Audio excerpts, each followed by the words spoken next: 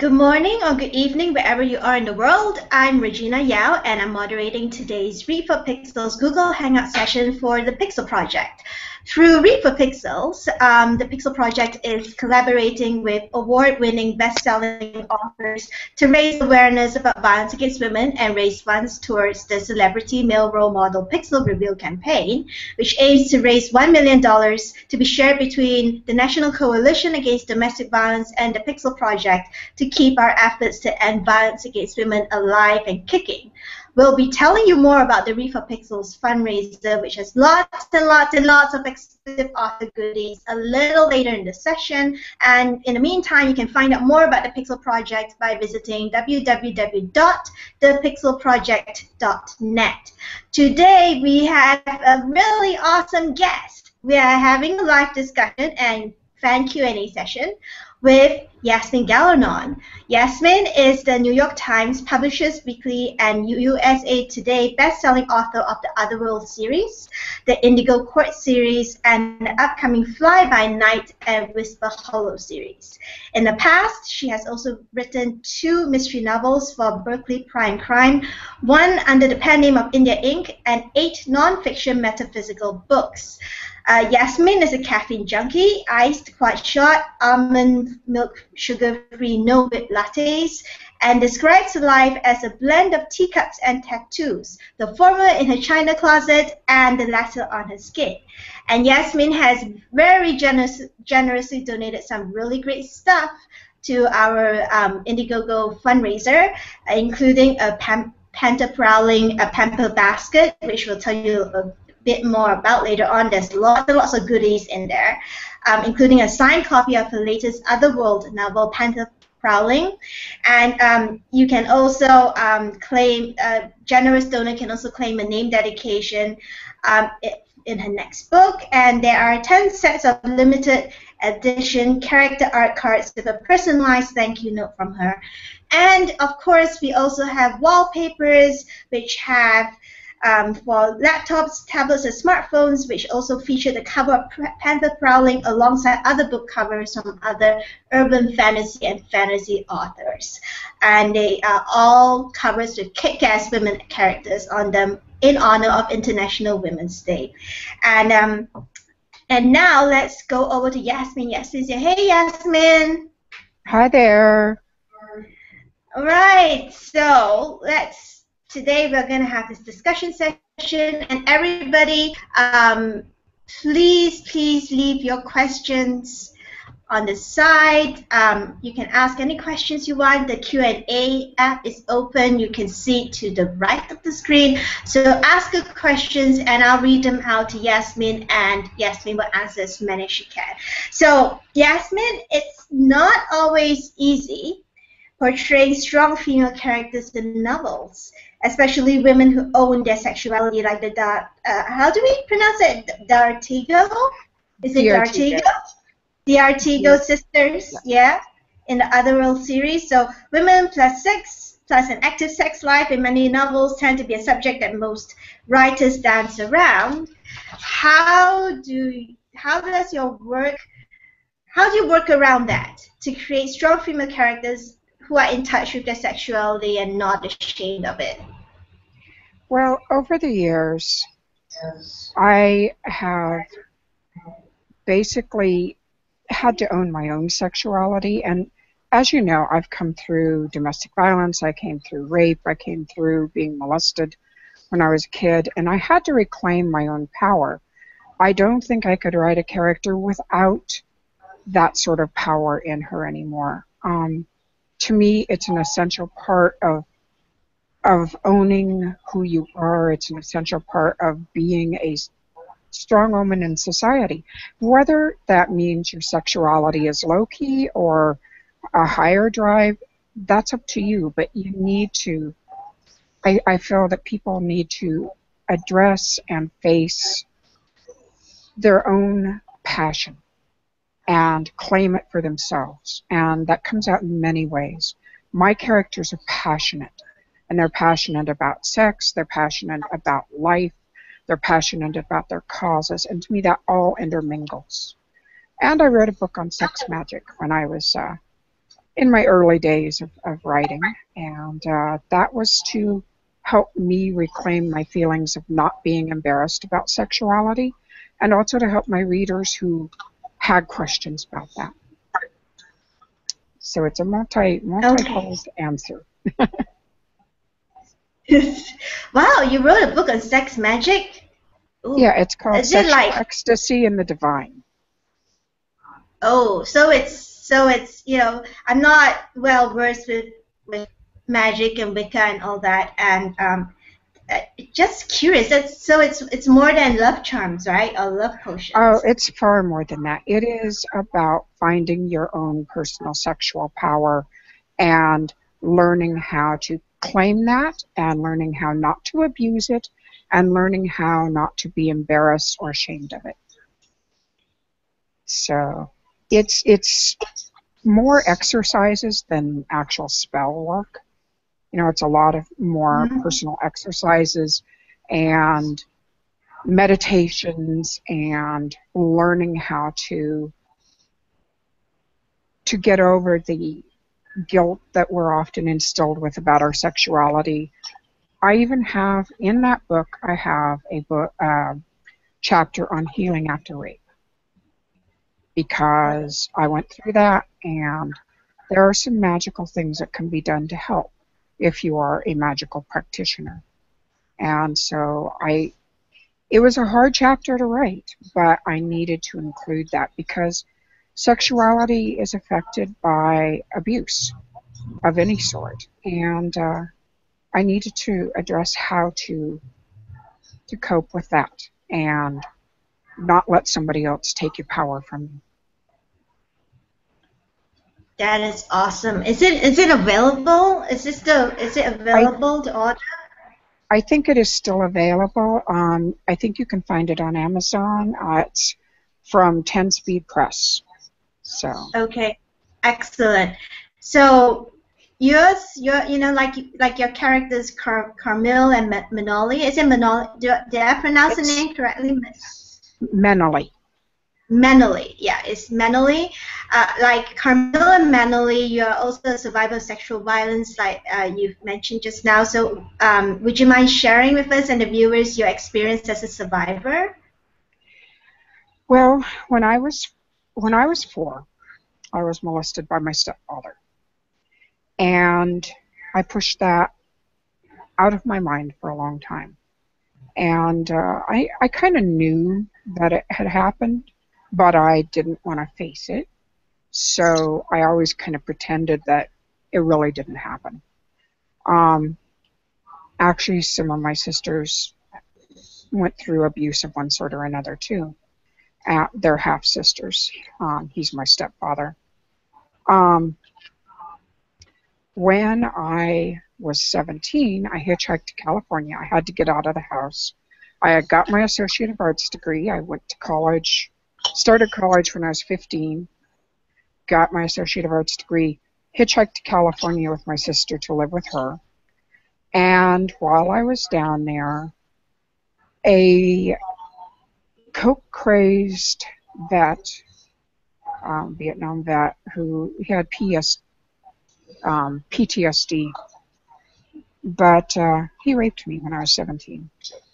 And I never told anybody for years. Um, so that happened. And then I got in an abusive marriage and ended up getting beat up at the end of that nine years later. And that's when I left and I started realizing I needed to do something.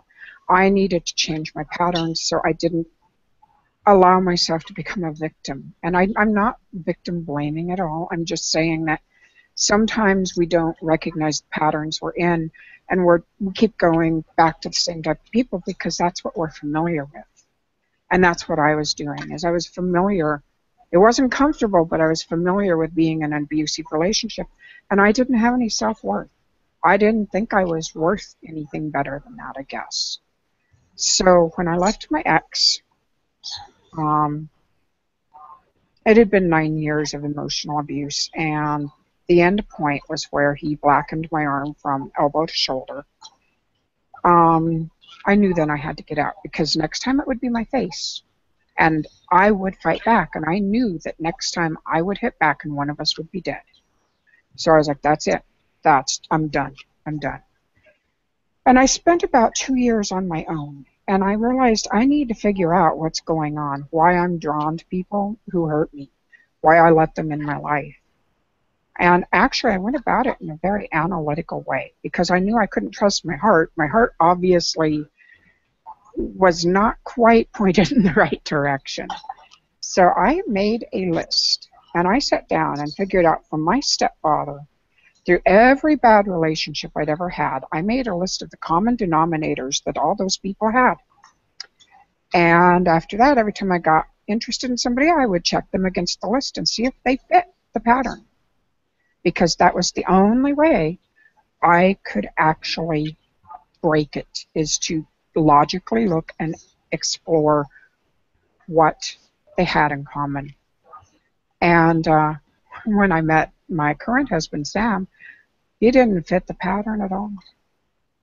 And I was just like, whoa, he, he doesn't fit. And it felt very odd at first. And it took me about five years to trust, to really trust.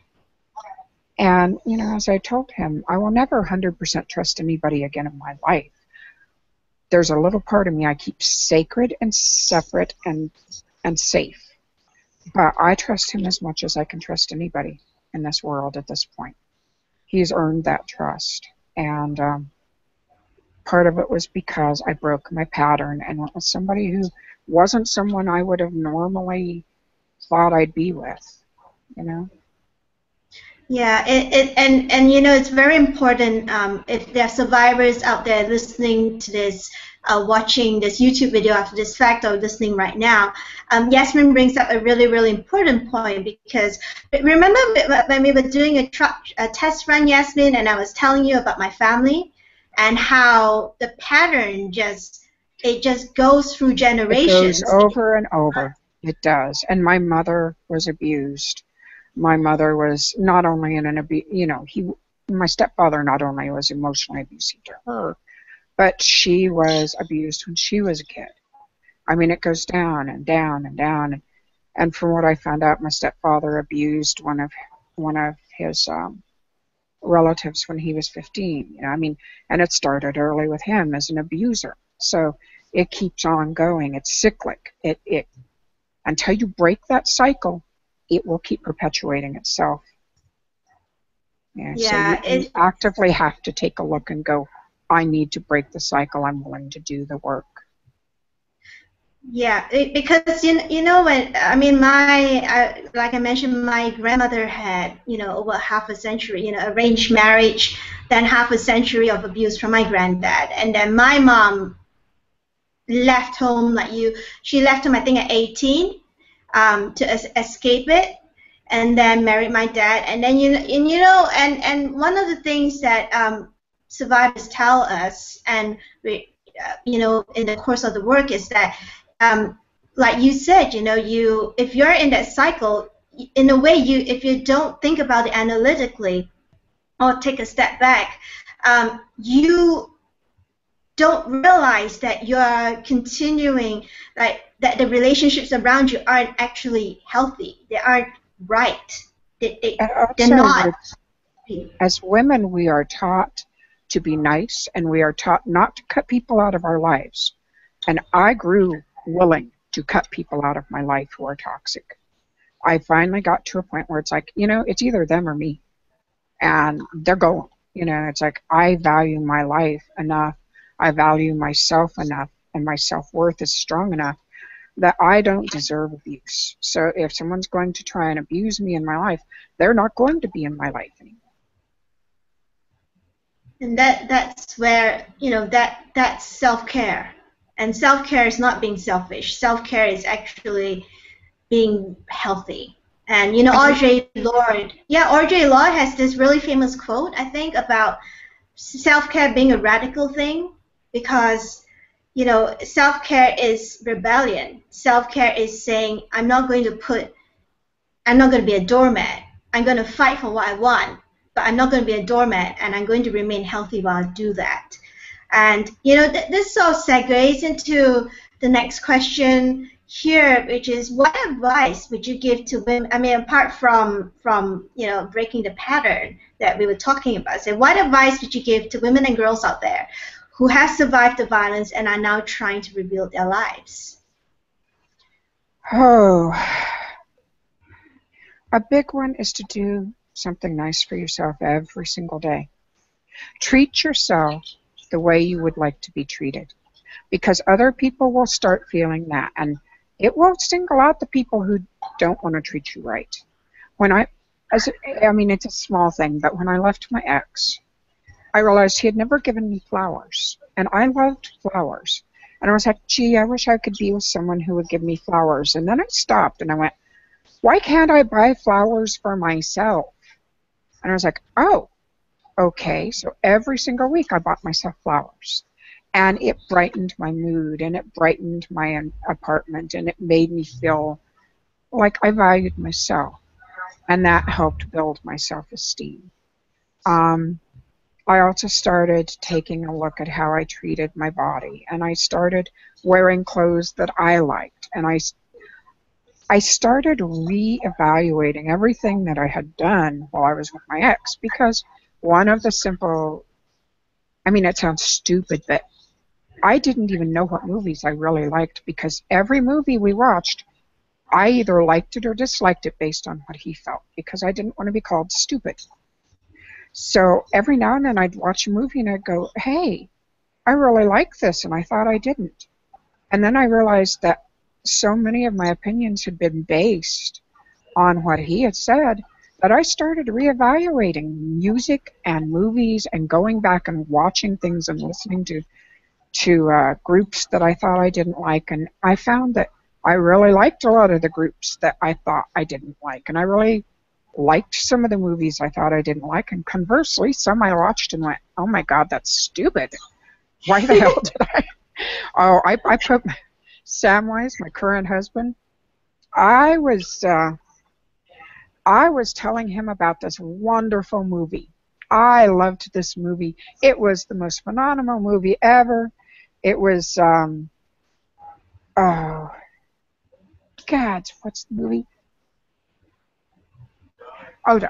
It was um Sean Connery's Zardoz. So mm-hmm. we rented that movie and we watched it and about 20 minutes in I was going what the hell? This isn't the movie I remember. I was just like, okay, then. I'm sorry I'm putting you through this. I really thought I liked it, but it's really one of the most bizarre, you know,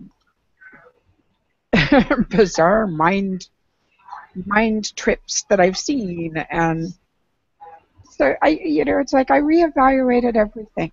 I, I went through a two-year period between my ex and meeting meeting Samwise. And um, during that time, I reevaluated what I liked, what I wanted to wear, how I felt about the world in general. Um, I wanted a third cat. I got a third cat after my ex. You know, it's like I started doing things that I wanted to do that I couldn't while I was with him. And every time I would hear the voice in my head going, You're stupid, you're stupid, I'd be like, no, I'm stupid if I don't do something I want to do. I'm stupid if I let somebody else make my decisions for me. I started t- taking myself in hand and reevaluating what I wanted in life. Um, when I was with him, I also did one thing that this is one of the few things I regret because I try not to have regrets. I threw away two book manuscripts trying to save my marriage because he used to tell me, if you're successful as an author, I'll have to leave you. And he would tell me that over and over. So I threw away a bunch of my writing trying to save my marriage. And that's one thing I regret. And after after that I was like, you know, I'm making a list of things I will never compromise on again. There are things I can compromise on. These are the things I can't. And if somebody can't accept those things about me, then then we're not going to make it. You know, they're not going to work in my life. So. I am. Sh- I think you saw Yeah. my shocked expression because you know we've heard you know we hear all all all sorts of stories from survivors and given that you're an author and he you know he he pretty much made you throw away your manuscripts that and you know all, and, and authors are you know their writing is so personal it's an extension of them that's why my jaw's kind of dropping because it's like that's that's a pretty pretty much emblematic That of how much he's control how much he's controlling he was controlling your life Yeah, and frankly, that was worse than getting hit. You know, I'm I just say it. For me, that was that was the lowest point. Getting hit was the part that made me leave, but that was the lowest point. it's like throwing throwing away a part of yourself It is. It really is. That I'm so glad you left. I'm so glad you left. Many many girls and women are afraid. You know, many women are afraid to leave. Um, I'm. You know what struck me is that you had your cats with you. You know, sometimes abusers they actually like use fur babies as hostages. They'll Well, you cannot he, leave. he actually liked the cats, and when we broke up, I kicked him out. I was making more money than he was at that point, and I was like, "You have to leave." And I told him, "I'm keeping the cats." Period. And so, you know, he left. He did. Um, it took a few months to get him out, and he wanted to come around and see the cats. And for a little while, I let him. And then I realized every time he came, he made me feel like crap. So I, I put, you know, I pretty much put an end to it at uh, at one point. Um, and I moved. You know, it's like I, I wouldn't let anything happen to my cats. They're my kids. And for me, my mother didn't protect me. I loved her, but she did not protect me. I would never not protect my cats. Yeah, it's yeah. I'm just you know I was I was feeling so glad that you you know you kept your cats with you because we do get so many women just don't leave because they can't take their cat with them, their dog with them. Um, that the abuser would threaten to kill the dog or the cat. And a lot of abu- a lot of times um, they've done studies on this that um, you, you can tell if someone's going to be a, an abuser if they if they torture animals when they're Right. kids.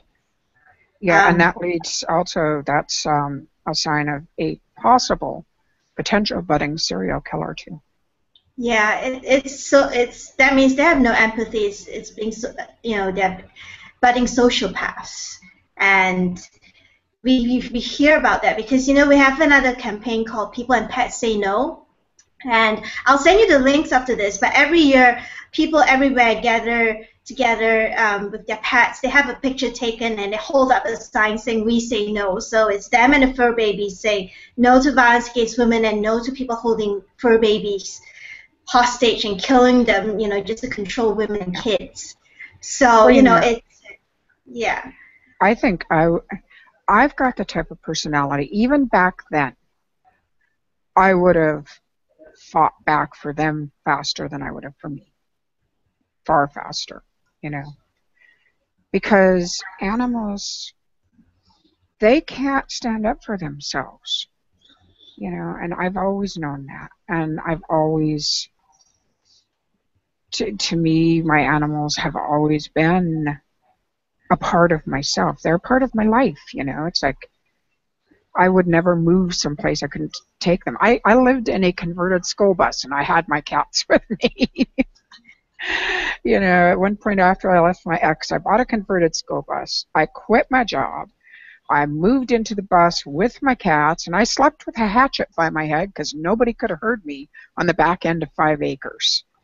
But I had my cats with me.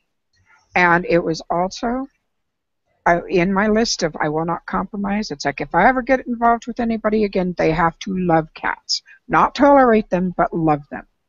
And sure enough, Samwise loves cats, you know?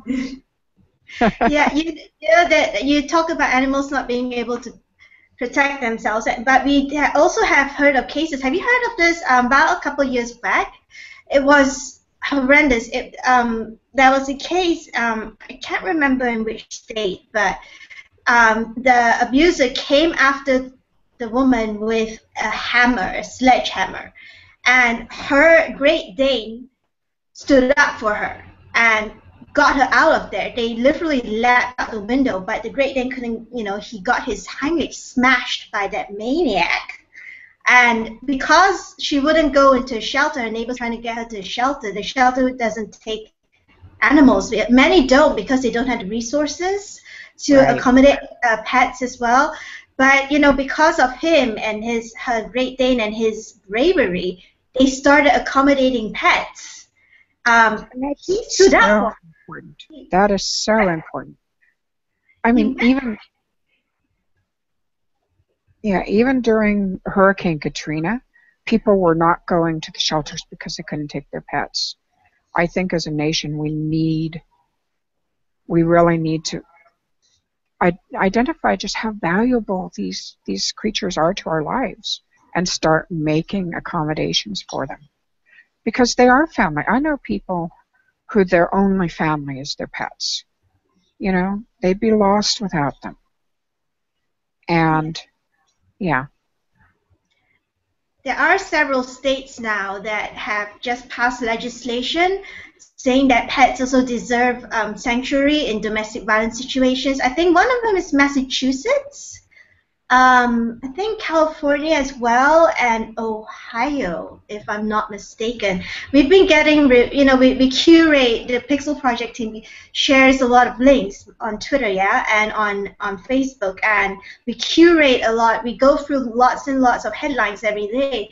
And what's standing out to us is that more and more states are, are you know, are uh, mandating that you know animals in domestic violence situations also get shelter. They oh, also oh, get get fostered, and you know animals are also you know in um, therapy for domestic violence and rape survivors. Um, animals are also used therapy dogs, and there's a case in New York a couple of years ago where a 15-year-old girl had to face her rapist in court and what made it different, and he got convicted, is um, they had a therapy dog with her, a golden retriever or Labrador, I can't remember, and he, they, uh, the court allowed her to have the dog with her in the witness stand. And oh, that she, is good. She said that if she didn't have the dog with her, and he, the dog, you know, was trained, and you know, she could pet him, keep stroking him while she was shaking, and you know, the dog would lick her while she was giving her testimony. She, she said if the dog wasn't there, she wouldn't have been able to go through it. She wouldn't have been able to pull through, but she did, and her rapist is now in jail. And Good. yeah, um, so let's go back to talking about books and pop culture and violence against women. And you know, in in, as a novelist, how important, in your opinion, is it to have strong female characters, not just in books, but in pop culture as a whole? I think it's it's invaluable because it gives young women role models, and you know when I was okay, I was on Twitter last night. I was just rambling, and I was talking about when I was a little girl, and when I was a little girl, I wanted to be a writer and I loved dinosaurs, and I loved volcanoes, and I loved spaceships, and I loved science fiction. But all the heroes were guys, and all the archaeologists were guys, pretty much. And a lot of most of the writers I read were guys, you know, because I was reading Heinlein and Bradbury and Arthur C. Clarke by the time I was eight years old. And it made it harder to believe I could become that because there weren't a lot of women back then. Um, I, I'm just stubborn enough that I, I was like, I'm going to make it no matter what. But a lot of little girls, they aren't taught to be stubborn. They're taught to be nice. And they aren't t- taught to be, uh, sorry, they aren't taught to dream big. So when they see these role models who look like real people who look like women they know who are strong in many ways not just not just kick-ass heroines but inside kick-ass heroines, women who won't take crap, women who are positive and strong and happy and not willing to let their lives be be made miserable by other people.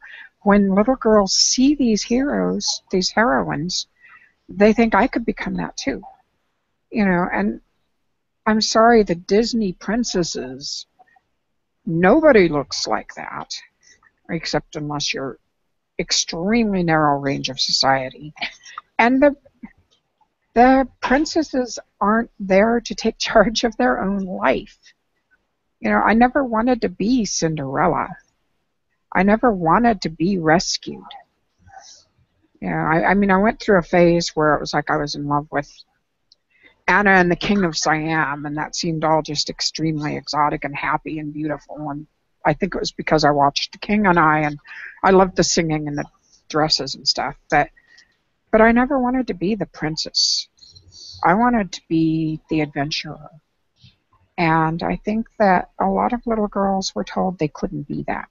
So when they see Buffy, when they see Lost Girl, when they see, oh,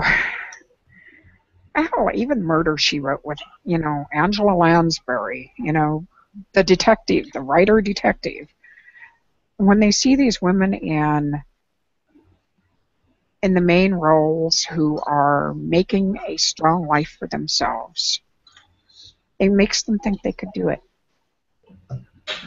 I mean, I love pop culture. I love it, and uh, sometimes I love things I probably shouldn't.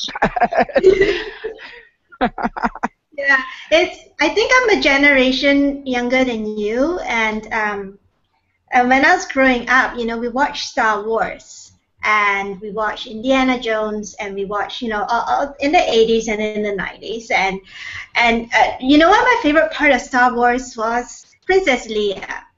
Princess oh, Leia, who didn't take any, you know, didn't take crap from from from Han Solo.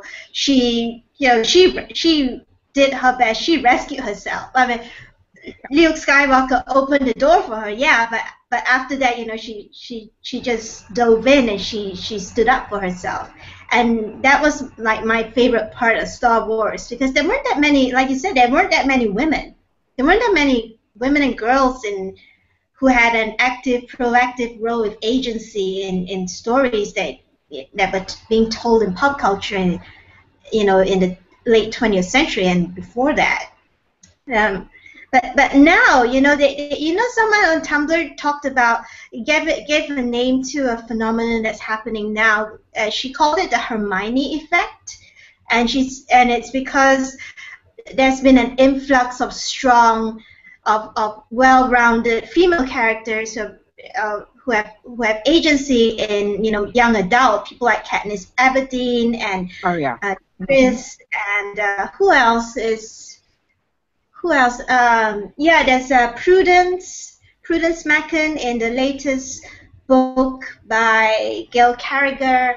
Let's see, um, there's Cassandra Clare's books, there's J. Maas's books and stuff, which seems this influx of really, really lively and uh, lively and kick-ass female characters in young adults, and it's great for girls. But um, what are your thoughts on this? You know, uh, do you think this is, is just a trend, or do you think this is this is here to stay? I think it needs to be here to stay. And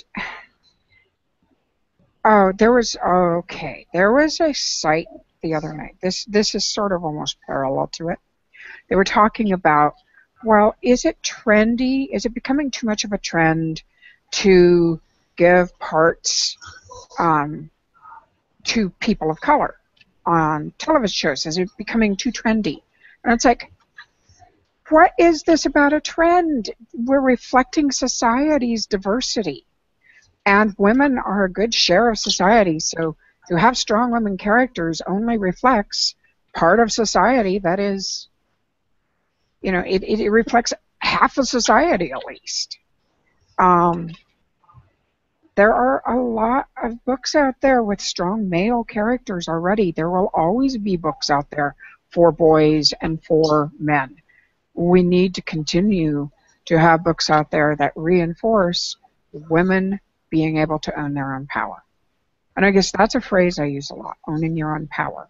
It's not having power over somebody, it's having power for yourself, making your own choices, and learning that you can make a difference in the world, that you can make a difference in your own life, that you can that you can make your own life. You don't have to wait to be rescued. You don't have to accept somebody else's vision of yourself.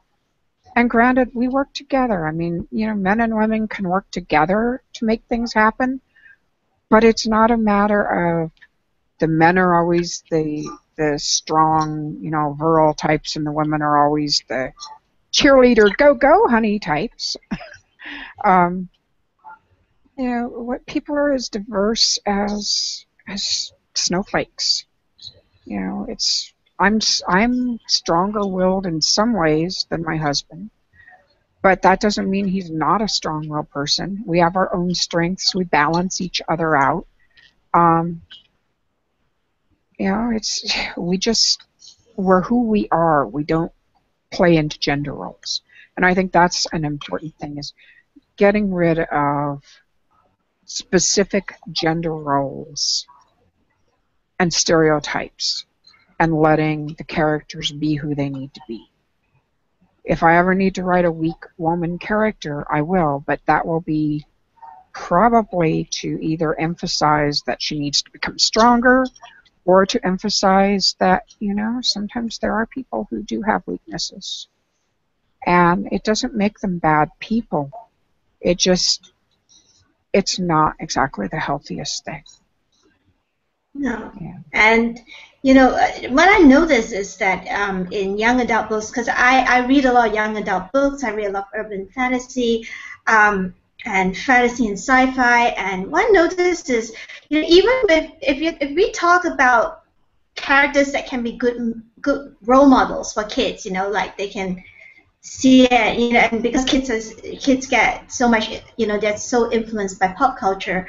Um, you know, for male characters, I don't know what you, what you think about this, but I thought that for male characters, they could, you know, writers could stand to move away from, you know, these kick-ass male characters who are very, like you say, virile, and you know, they get the girl and and all that and, and just show them as more human you know how what's wrong with showing a male character who who's in touch with his emotional side what's exactly. wrong with showing them as well-rounded showing every character as a well-rounded person as opposed to a cardboard cutout yeah I'm getting kind of tired of alpha males like every romance book or adventure book, they all seem to have alpha males. And um, uh, I think there, there was a discussion on a book forum about Georgette Heyer's books. Have you read Georgette Heyer?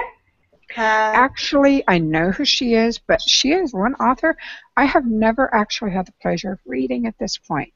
I read Daphne du Maurier. she is um, she is one of the best Regency. Well, she passed away. Um, she her books are some of the best Regency era romances and mysteries uh, around because they're, they're so well written and they're so well researched and it's the world that she's best in and we're talking about this um, you know all her romantic heroes in her romances and one of them stood out that all the the discussions revolving around him and his uh, the honorable Freddy Standen and what was unusual about him that everyone agreed about was that he's not the usual alpha male. You know, he's not the one to pick up the woman and toss in the carriage and bear her away. He, you know, he's not a rogue. He's he's not a Corinthian, which is you know one of those you know athletes kind of those oh. alpha males. Yeah. But he he's called a pink. He's a pink of the ton, which is a very fashionable man. He's he's he's not big and imposing. He's slim. He's well dressed, and throughout the book, you know, he he just helped his, you know, his the female love interest. You know, he just helped her along. You know, they started out as friends, and then along the way, they both discovered that they're very well suited. And at the end, he said something that made everybody want to cry.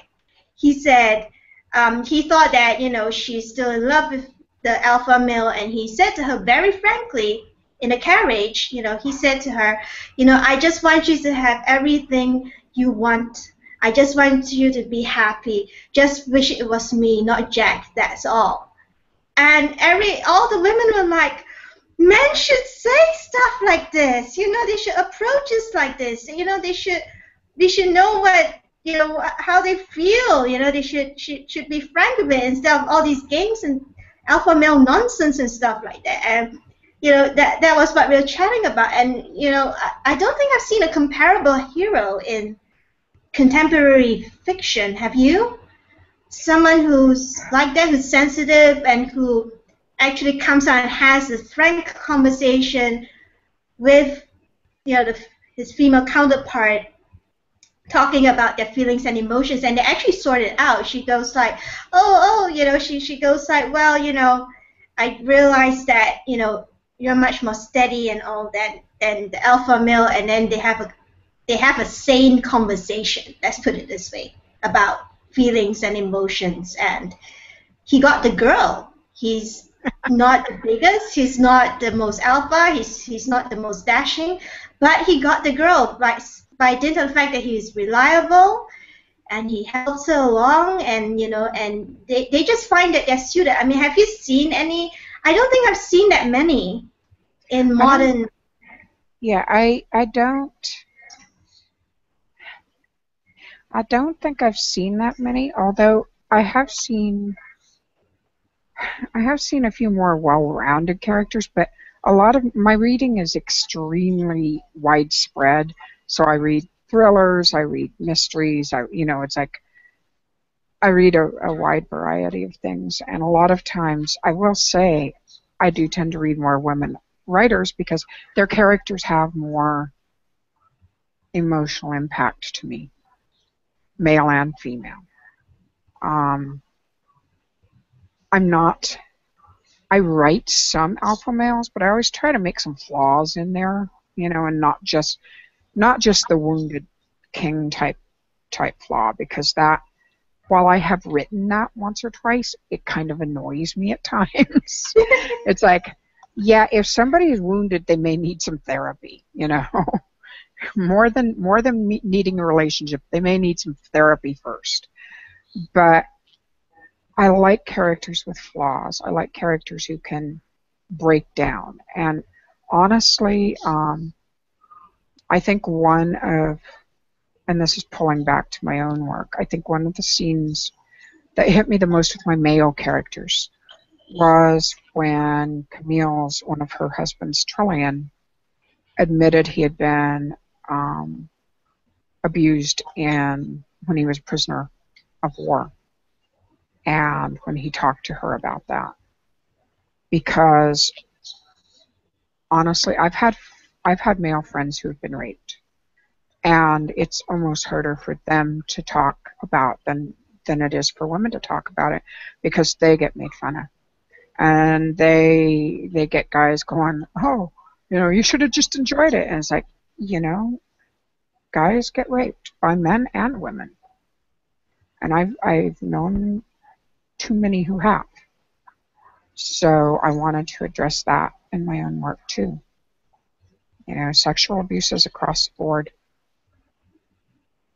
And I felt it needed to be addressed in a in a hero, you know, to have a hero go, This happened to me. And here's how I dealt with it. And have him be able to talk to his partner about it.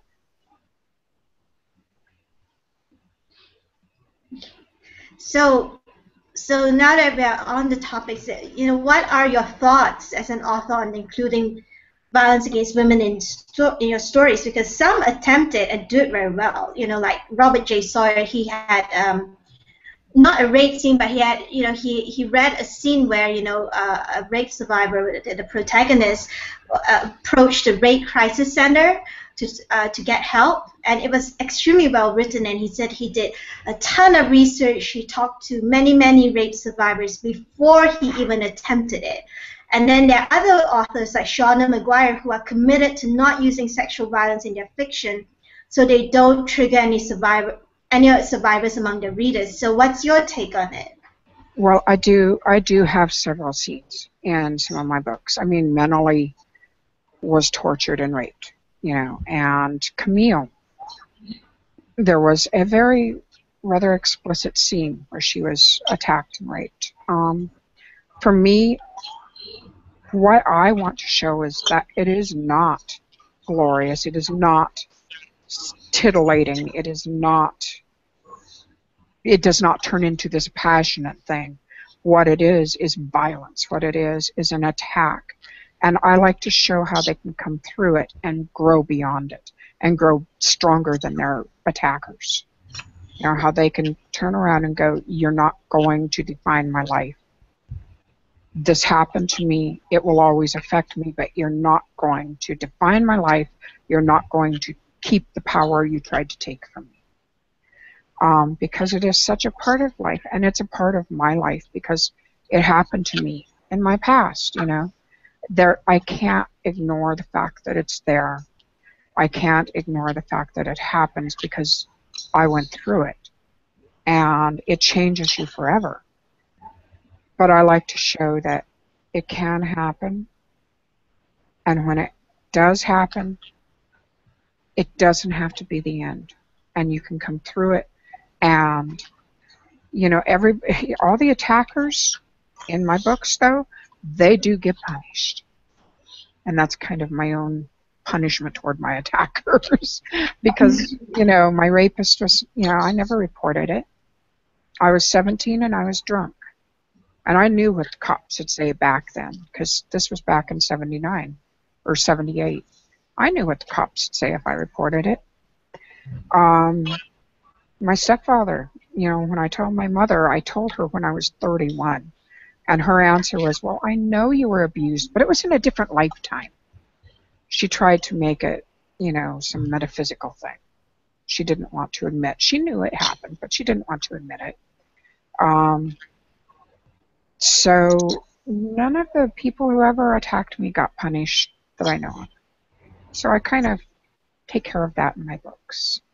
It's my own yeah. way it's my own way of dealing with it. It's my own way of saying, you know, there are repercussions for what you do. What you do will come back. You know, what you do will play out and there are repercussions. You know, if you act in a wonderful way if you are good to people if you if you do your best to make this world a better place it will be felt if you do the if you do your best to make this world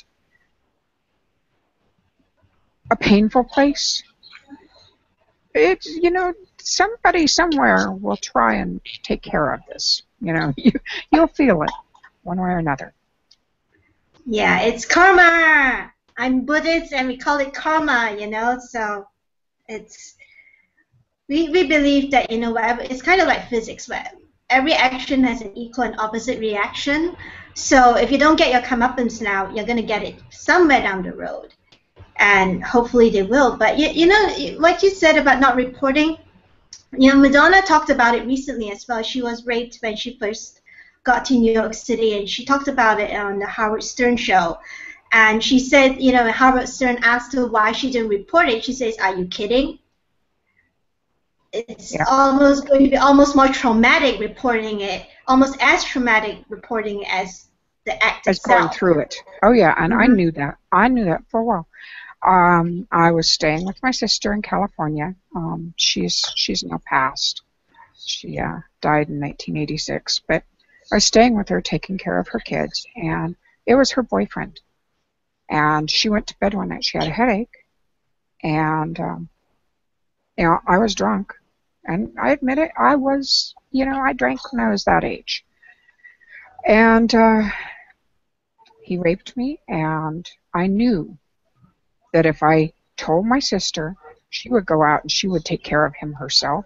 And I was afraid that her kids would be left without a mother because she would get caught and put in jail. And if I reported it to the cops, it would be my fault. So I just didn't say anything. Mm.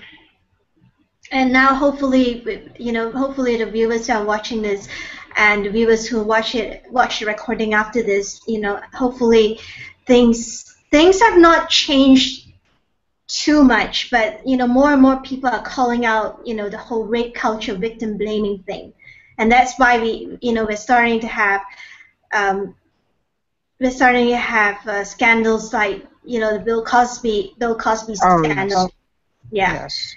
and and, well, you know what? What gets me about the Bill Cosby thing, and you know, I was ranting about this together with Kami Garcia um, on her Google Hangout. Is we were both ranting about it. Is more than 30 women have come forward, and there are still people who say that the women are making it up.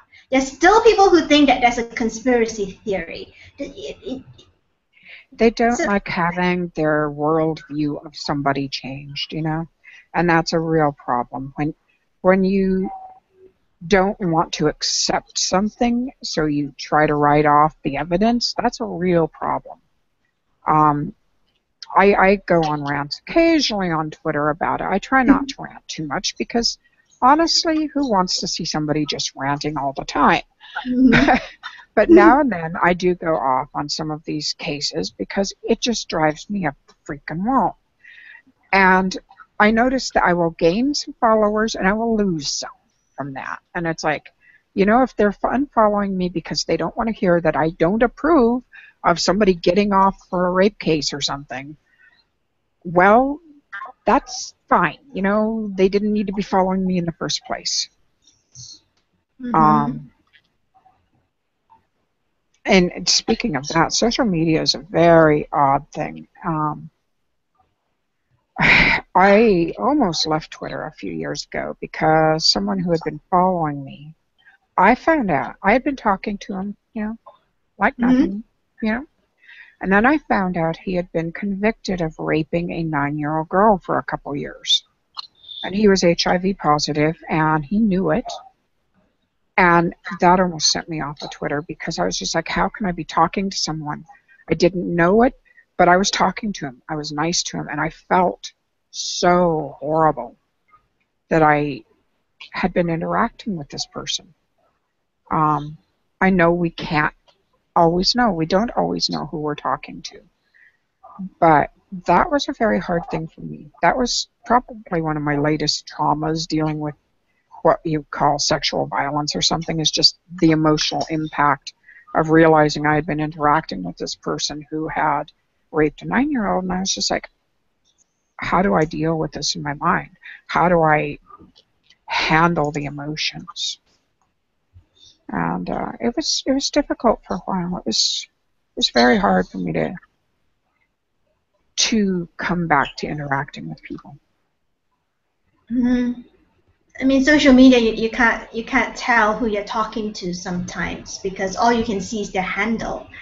So you know, it's it's hard. It, it's difficult, but yeah. Oh, so now, so talking about social media, you know, there's a lot of kerfuffles, really big kerfuffles going on over the last last two to five years on social media you know, with women women like Anita Sarkeesian getting getting attacked and Gamergate. Gamergate. Yeah, Gamergate. And I was gonna ask, you know, geek culture in general has its share of critics saying that it's still too male dominated despite a number of prominent female authors and you know comic book creators and and game creators uh, you know like you like and what do you think what do you think needs to be done to make geek culture as a whole more welcoming for women, more inclusive, more welcoming for women and girls and and and other um, other demographics who haven't traditionally been in geek culture.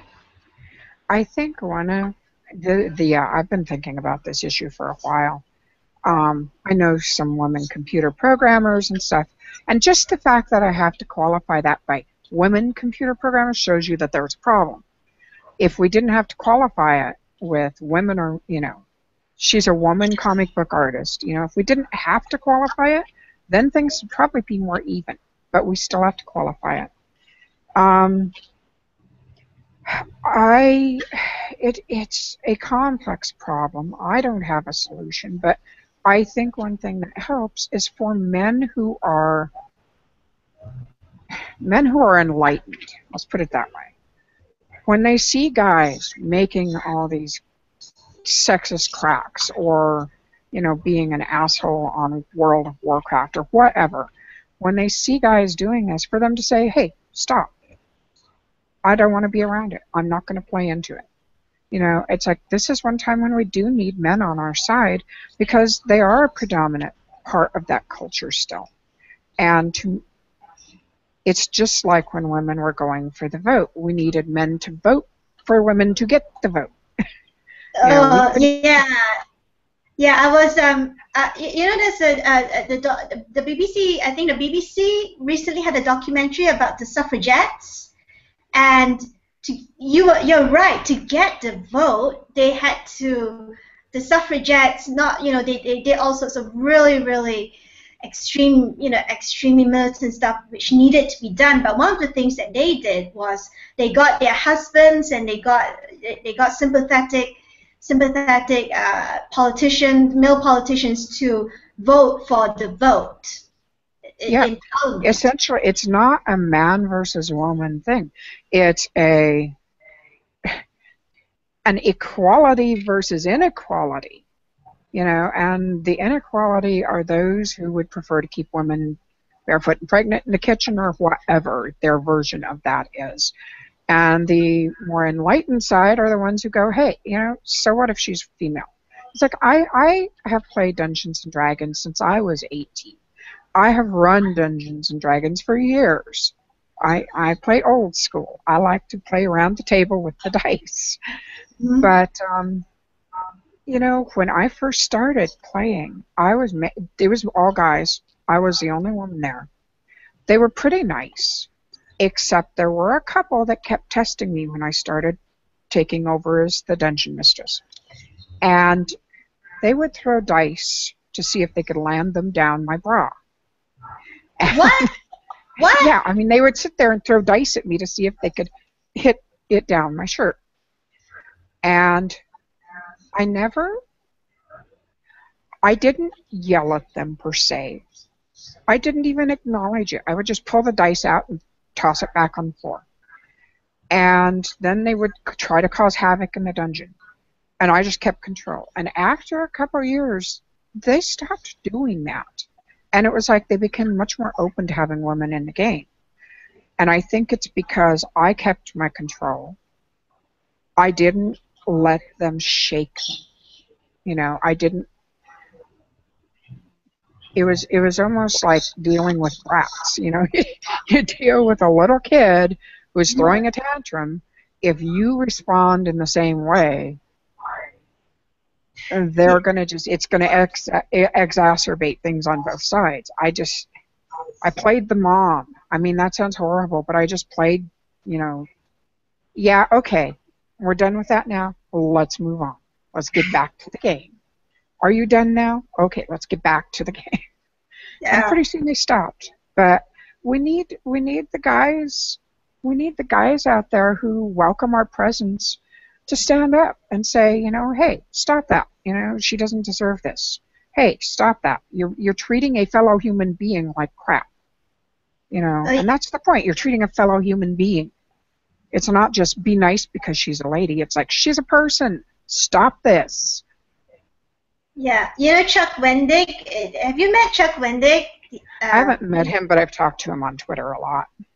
Yeah, Chuck stands up for this. You know, he, he has this theory. Do you read that blog post? He has this theory that you know all, all, all these guys in geek culture who are real, you know, real, you know, who are being really nasty to women they're doing that because they know they're going to be extinct soon. Kind of like uh-huh. din- he, he likened them to dinosaurs who see the meteors coming and so are having a temper tantrum. And I started laughing because it's true.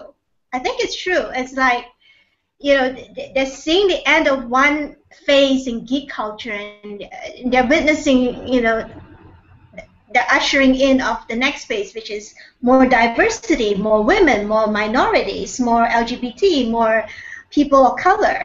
And it's a good thing. And there's um there's an article which I'm going to send you after this. It, it, it was written in the Guardian And they're talking about how how comic uh, female comic book characters have evolved over the years and how geek culture has affected that and how um, how more women in the industry and more women readers have female readers have affected the changes that have happened for the positive. And I, was going to say this you know when i was a teenager i started reading my sister and i started reading comic books.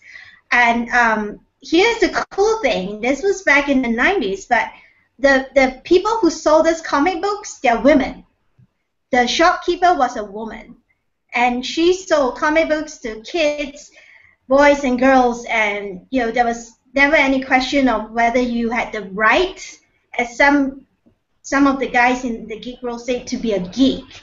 And when I went, you know, in college, I went to a different comic book shop because I moved to England, and it was run by a guy, and he was one of those guys who stood up for, you know, female fans at the time we were all guys and just me. And you know, his policy was to not harass other readers, regardless of their gender or sexual orientation and all. And you know, it's so nice. But you know, we hear a lot about women not feeling comfortable going into comic book stores or certain parts of conventions still. So I was, I, I will admit that after coming from that sort of that sort of experience, I was quite surprised when I found out just how how much flag women are taking in the in geek culture right now. Oh yeah, yeah, and you know the thing is, I don't think it matters whether whether the women are stereotypically beautiful or whether they are like myself large or whether they are smart or what they're doing. The fact is that they're female. You know, no matter what, they will find something to pick on. Um, I've been watching a lot of conventions over the past few years. I've been watching a lot of the the problems going on with the conventions, and it's made me pull back from a lot of them because, well, honestly, a couple of times I've been on panels at a couple of the sci-fi conventions where I was best-selling author there. I had the most experience, and I was kind of shunted off to the side and talked over. And it's hard to talk over me, but these guys managed to try and talk over me, and it was like I was the token female, you know. And I was sitting there going, uh, "Excuse me," you know. And it made me go, why, why bother? Why do I want to go back to that? You know, it's like, I have umpteen books out. I have this much experience in this in publishing. I have I have a background of science fiction and fantasy. I'm a dungeon mistress for God's sakes. You know, it's like I fit on this panel. Give me my voice. Let me have my voice. Quit trying to talk over me. So I, I quit going to a lot of the sci-fi conventions, and um, one of the last ones I went to when I was assigned to lead a panel called Intoxicants of the Future, which was held in the bar, that kind of did it for me. It's like, I don't hardly drink anymore. What the hell am I supposed to say about booze of the future in a bar? I think this is a drinking panel you know. I'm not going to sit there and talk to a bunch of guys who are getting drunk. They had it in the bar? Uh-huh. Um, this is like the umpteenth time my, my jaws dropped this, this Google Hangout. It's, what? I thought you had like convention halls and stuff for panels, not. well, it it was in a hotel, you know, and I'm not going to name the convention because honestly, I think I think they do the best they can on what what they're going on, but it was obviously not the convention for me. Um, but yeah, they, they they held the panel in the hotel bar. And another panel they put me on was to discuss the problems with urban fantasy taking and and stuff like that taking over the place of science fiction. And I I stood up there and was like, okay, I am the one taking over the science fiction if that's what your problem is.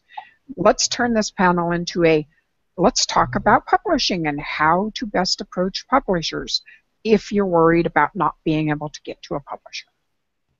You know, it's like I, I was given the weirdest panels. It was it was like they had no clue of what to do with me. Oh. All right, so we're going to have to wrap up soon. Um, if anyone out there has any questions, I know you guys are watching. I can see your numbers. If you guys have any questions, you know, please, you know, ask now. Ask while yeah, I'm here. Yeah, ask now. Just type it in. It's on the right of your screen. It says, you know, questions. Type in your questions here, and I'll read it out to Yasmine. But um, so so you know, le- leading up from that is, a, you know, in your opinion, how can authors like yourself best support efforts to kick off social change to end violence against women? By being vocal about it, by not being afraid to speak out. Um, there has been a bit of a kerfuffle lately in the authorial community about how much we should speak out about our political beliefs and our our stances. And some people say keep your mouth shut because you'll turn off readers if you come out with a differing opinion. Well, you know what? Years ago, I put a sign on my website when it was coming near election day. All I said was vote. It didn't say vote for this, vote for that, vote for this party. It just said vote. I got email from people going, How dare you tell me to go vote? I'm turning my books back into the store. And I was like, okay then, you know, I'm a person. I feel we should vote. I have an I am not just an author. I am a human being with opinions. To me, there are things that go beyond business, and violence against women is something that is so inherent, so much a part of my background in terms of being a, a survivor of it how can I not speak out about it?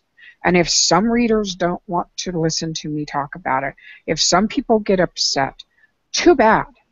They can go read somebody else because, you know, this issue goes beyond business. It goes beyond being politically neutral. Um, you got to talk about it. I've I've speak out about my own experiences to shed light on it and to make women out there who are still hiding the fact that they're being abused realize it's not something you should be ashamed of. This is not a shameful thing. It is what is shameful is the person doing it. That's the person who should be ashamed, not you. The victim should never be ashamed. You can become a survivor. You can get through this. It's hard work. It is, and it involves a lot of tears, but there's a light at the end of that tunnel, and you need to hold on to that. And if I can come through what I've come through in my background and make it to where I'm at, you can come through and have a good life. You can come through and make a life for yourself. You know, don't be afraid to step out of that familiar zone. It may not be comfortable, it may hurt, but a lot of times we get stuck in a familiar rut because it's all we know don't be afraid to move out of it. As authors, as, as people who have an audience, we need to speak out about those things that matter to us. And you know, yeah, we'll lose some readers here, but we'll gain more there. And, and in the end, it evens out. And in the end, what matters is that we do what's right. Yeah, you know, every author who, who's worked with us, they had, you know, just about all of them share this opinion. You know, if you don't speak out about issues like abuse, violence against women, rapes, you know, sexual assault, female genital mutilation, you know, it, like you said, it goes beyond business. This is about this is about this is about people. This is about life. This is about this is about shedding light into the corners that we need to shed light into because if you don't expose this stuff it will go on and it will perpetuate. When you start shining a light on someone going, that person beat up his wife, it's harder for him to do it again. When you take someone to court, it's harder for them to do it again. You know, when you reach your hand out to a survivor or to a victim and say you can be a survivor, you have to take a few steps. You have to make the choice, but you can come out of that. You know, it then they have the option, then they know they have an option to do this. It's when you're isolated and abuse is abuse isolates people. It's when you keep that isolation going that people get trapped for good. Yeah. yeah. I mean, you know, I sometimes wonder, like you said, I sometimes wonder if, you know, if people had, you know, everyone, like my mom grew up in a small town. I mentioned that my grandma had, you know, over 50 years of domestic violence from my granddad, and everyone in a small, you know, small towns, yeah, everyone will know what's happening in general with everyone else, and nobody said a thing. And you know, can you imagine if someone actually said something? it might have ended very differently. Um, yeah. And, you know, and and you know, and with, and that's why you know, my team and myself and everyone who supports us, we've been so happy lately because people are really starting to speak out. You know, with Read for Pixels, you know, I will be very honest. When we started this, we are like, when we started this, is because more than half of us on the team are geeks. We love reading. We love some of them read comic books, some do gaming, you know, Dungeons and Dragons and, and online and stuff. And and we thought, you know, authors have something really important to say because authors, when we read books, we are reading about the human condition. Authors are translating the human condition into stories that we can digest and you know and think about. And when we started, we had no idea what you know whether authors would be up for this, and I am very happy to say that so many are. So many. We, you know, we have we we're so happy to have authors like you support us and authors like you support the movement to end violence against women because you all have a voice and you're not afraid to use it. You know, having you talk today about your experience, hopefully the viewers out there will maybe maybe it might save someone's life, Yasmine. Someone might some a woman somewhere might be sitting there thinking, yeah, maybe it's time that I got out of this, and they might think that. I have noticed over the years that I ever ever since ever since I started talking about this, and I've talked about this for years, ever since I wrote the sex magic book, actually. Mm-hmm. Because in that book, I came out as being, I had been raped and I talked about stuff. And ever since then, I have gotten letters. And since social media started, I've gotten notes on Twitter and, and on Facebook and email from people going, Thank you for talking about this because it happened to me and I don't feel like I'm so alone. And that's the thing. We need to make women realize they aren't alone. There are resources out there to help. There are people out there who care. There are people out there who've been through this. You aren't alone. You you aren't the only one who's been through this. Other people will understand. Yeah. So one last question, and it's kind of a Captain Obvious question, but you know you've been so supportive of our Read for Pixels campaign and our anti-violence against work, against women work as a whole. Um, so, you know, just out of curiosity, why, you know, why do you say yes? Because not every author said yes to our invitation. So why do you say yes? Because we're tiny. We're not Amnesty. We're not.